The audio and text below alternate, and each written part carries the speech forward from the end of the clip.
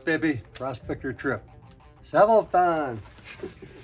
model 7280 right there. So 80 amp. Thinking about doing is uh, instead of having this long wire that goes to the motor, uh, you know, that long skinny wire, I'm gonna put on some big fat heavy wires and I may even go right to the windings on the motor. But anyway, those wires getting hot. I'm already pulling, uh, you know, a lot of current through those wires. So this one isn't gonna make it any better as far as that point goes. But uh, it's super smooth. These guys are so smooth and they're programmable. We're up this guy here, see what we got. We should have a nice little uh, SW900 in there also, which is the, the little digital display, which makes it handy because you can keep track of what the heck's going on. Like Sabvoton did a great job.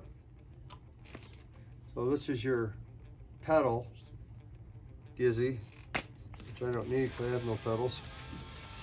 I will need those though, connectors. There's a little programmable USB right, for Bluetooth. See our 900. Yeah, that's our display, our SW900 display. Nice big heat sink on it. Now, if it works as well as it as it looks, I'm gonna be cooking, baby. Like I said, with the 60 ampere, it's getting good and warm. So yeah, this is an 80 amp. It might, uh, 25% more might do her.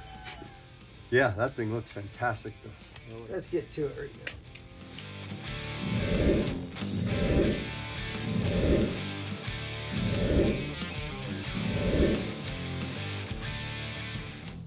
You got it pretty tight there, Junior. Get it up on a table or something so we can all work on it. Hey folks, I pulled my table up here. And pull those bolts up and then this plate hopefully will pull right out. Yeah folks, I ended up taking the screws out of this side too.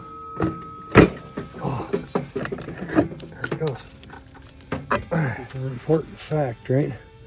These guys can't be coming loose and getting underway. as long as they're not loose.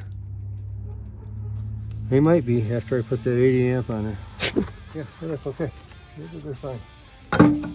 Hmm. Here we are. Now you gotta be careful not to bang these wires up too much, right? You don't want to wear a hole in them or anything. Just set it here like that temporarily. Cut this one here. I was thinking they came up here, but uh, yeah, they come right up here. This one here's got a break in it. I don't know if you can see that, but all right, I think you can see that. Yellow wire's got a break in it. Same with the green wire. The green wire does too. Wow, I'm glad I'm doing this.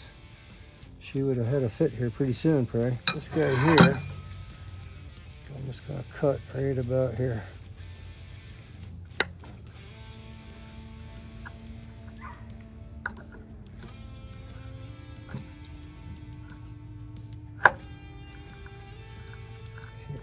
that, heat shrink. Get our spring out of here. Folks, I'm gonna try and get this wire out of here without wrecking my uh, my hall sensor wires. I've been able to get a little bit of action here on it. Oh, there it goes.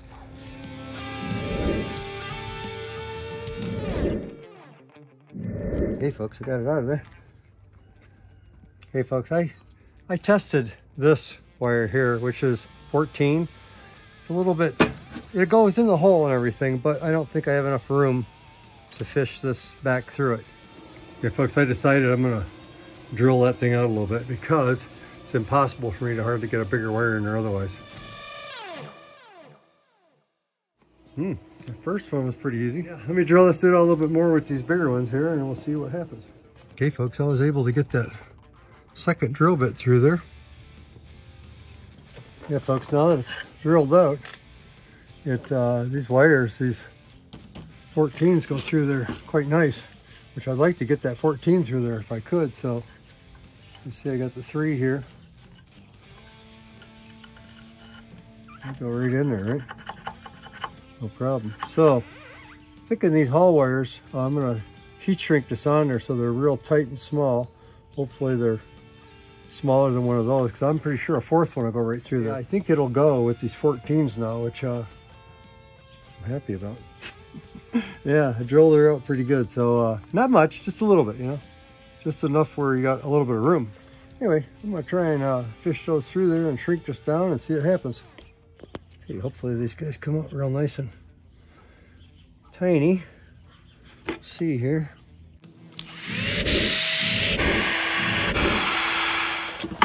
Pretty worthy. Should make it. Hey folks, you can see I've been a little bit bad there. I was doing a little work there and I uh, suddenly realized I better start recording. anyway, all I did is I just soldered these lines that we fed through here, these guys, to the green, blue, and yellow lines. And then after they're soldered, I heat shrunk them on with the little the black heat shrink behind this white stuff. Then I slid on this white protective cloth material and then tied them all down again.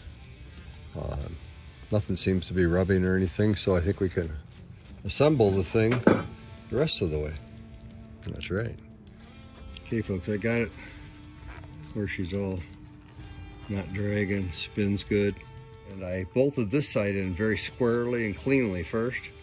Uh, that way I had a good reference. Once the post came through, this side was square and not uh, slid off to one side. And then this side here, uh, it was quite easy. Once it was in there, just, you know, started the screws and fussed around a little bit and boom, the whole thing went down. And now it uh, is centered properly. So yeah, I recommend putting on the one side first and slide it in that way. That's a lot better.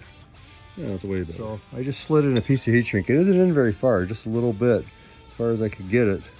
But uh, I'm gonna heat shrink that on there and it's got glue in the inside there and that'll melt on there hopefully keep my wires from getting chafed up. That's all I can do, baby. okay, folks, I got the uh, heat shrink slid onto these guys and uh, and shrunk on. And I kind of, as they were still warm, I held them so they're bent kind of upward. It's probably not as good as the the metal gizmo, but if I'm careful, I think I can keep it from uh, biting into them. I'm gonna go get those uh, that other cable I took off with the hall wires and so I can run them up to it. But uh, yeah, looking pretty good. Everything looks all right this, up to this point. Okay folks, I got it basically bolted on there straight. The brakes work good. Looks relatively centered. Nothing's rubbing. Okay. So now we got to do our wiring. Just flip the bike over and we'll put everything back together one by one. One by one, baby. Peace.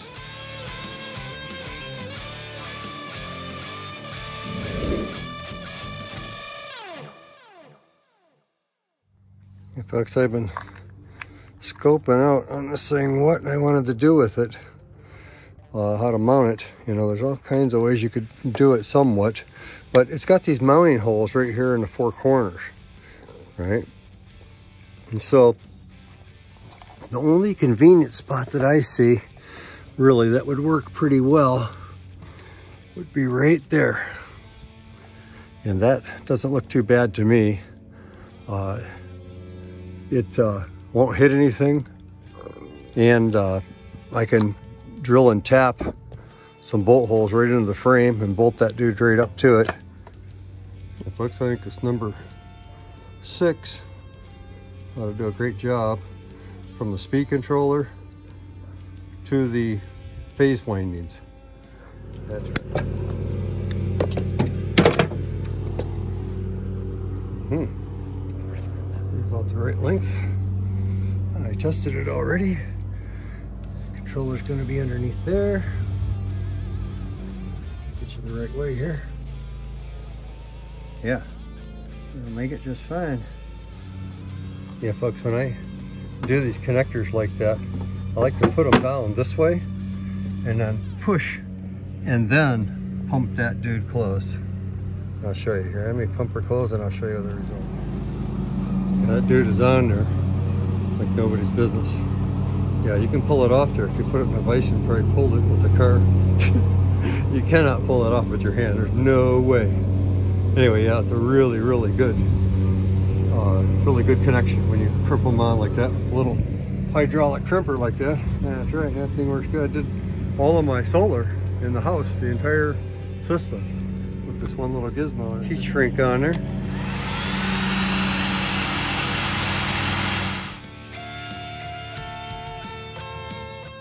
You can see a tiny bit of glue squirting out there, right?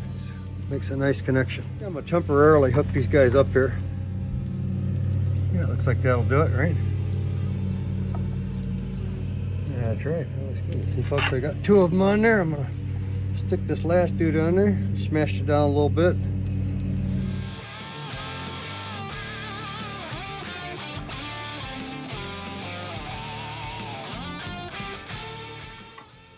These wires are obviously heavy duty for this. They ain't gonna fit in there, right? so I'm gonna tin both of these guys with solder and I'm just gonna solder that dude like that. Okay folks, I think I got it hog-tied well enough. And we'll figure out this side down there now. I don't have anything heavy duty like these. That's the right size. So I'm cutting these guys off, folding them over, and then instead of using a uh, six, I'm using an eight uh, size crimper to smash it down real tight like that. And I rotate it a couple times to get it really crunched down there. Looks pretty good, so that's what I'm doing here.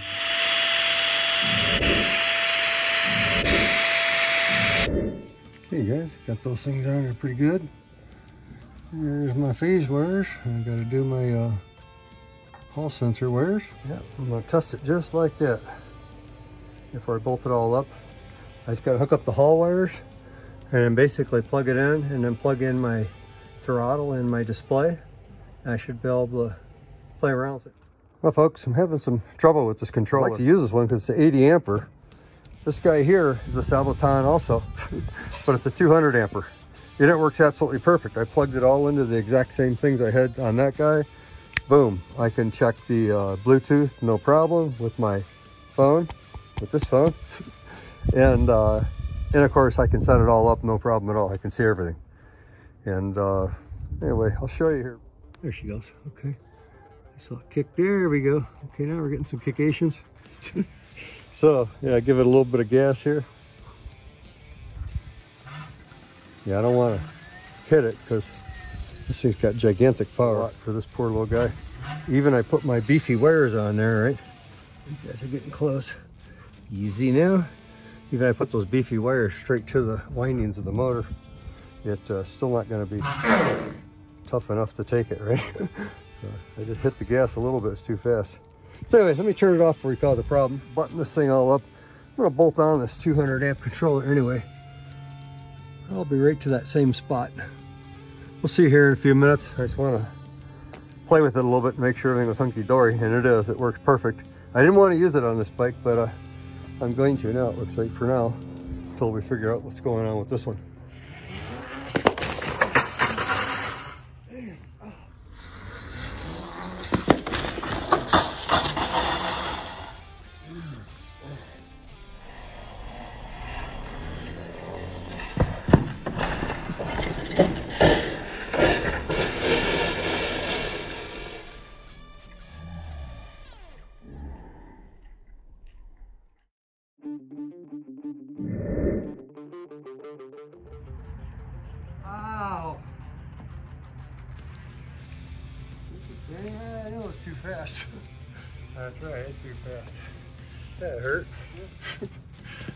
Surprised me. That thing come right up and right over. Yeah, that hurt my elbow. Right, we're laying it down here. Hopefully my battery's not too dorked up. Doesn't look so bad. my helmet on, my gloves, and my elbow pads, and it got hurt. I wouldn't even got hurt like that. That's right. Wear your safety gear. So folks, as you can see, that thing is uh, pretty fast. It's too fast with that 200 amp speed controller. Yeah, that was on setting one. One of five. Yeah, I uh, yeah, I just screwed it on. Screwed it on. Normally, I uh, when I'm uh, not on video, I'm a little more cautious, I guess, or something, because uh, I had that camera rolling. Man, that thing come up and over so fast. I had no time to hardly think. Yeah, I'm okay.